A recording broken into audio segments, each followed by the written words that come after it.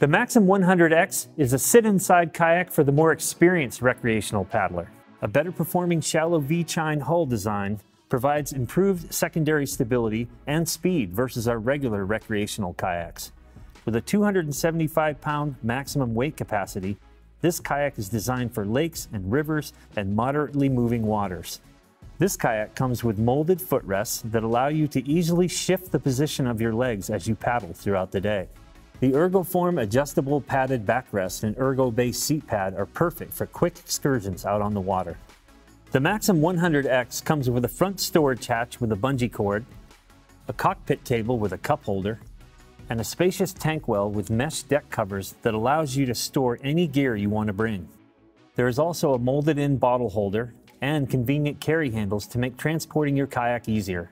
The Maxim 100X is made with our patented RAM-X material, an exceptionally durable triple layer high molecular weight polyethylene, which creates a strong yet conveniently lightweight kayak that comes with a limited lifetime warranty on both the deck and hull. Weighing only 36 pounds makes this kayak easy to carry and store.